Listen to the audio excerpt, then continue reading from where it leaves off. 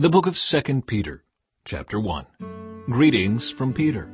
This letter is from Simon Peter, a slave and apostle of Jesus Christ. I am writing to you who share the same precious faith we have. This faith was given to you because of the justice and fairness of Jesus Christ, our God and Savior. May God give you more and more grace and peace as you grow in your knowledge of God and Jesus, our Lord. Growing in faith. By His divine power, God has given us everything we need for living a godly life. We have received all of this by coming to know Him, the one who called us to Himself by means of His marvelous glory and excellence. And because of His glory and excellence, He has given us great and precious promises. These are the promises that enable you to share His divine nature and escape the world's corruption caused by human desires. In view of all this, make every effort to respond to God's promises. Supplement your faith with a generous provision of moral excellence, and moral excellence with knowledge, and knowledge with self-control, and self-control with patient endurance, and patient endurance with godliness, and godliness with brotherly affection, and brotherly affection with love for everyone.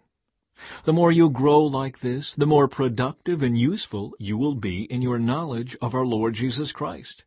But those who fail to develop in this way are short-sighted or blind, forgetting that they have been cleansed from their old sins.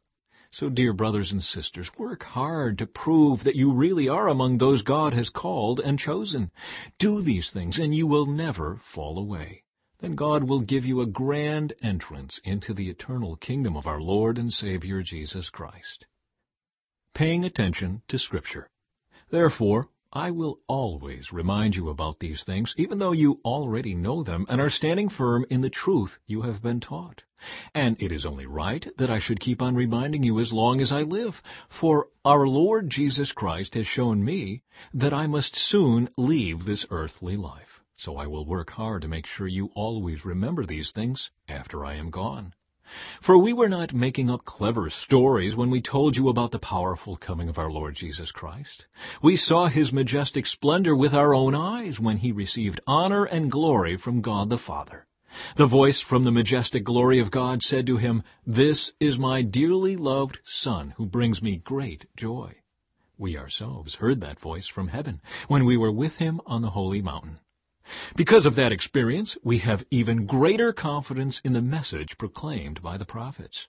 You must pay close attention to what they wrote, for their words are like a lamp shining in a dark place, until the day dawns and Christ the morning star shines in your hearts. Above all, you must realize that no prophecy in Scripture ever came from the prophet's own understanding or from human initiative. No, those prophets were moved by the Holy Spirit and they spoke from God.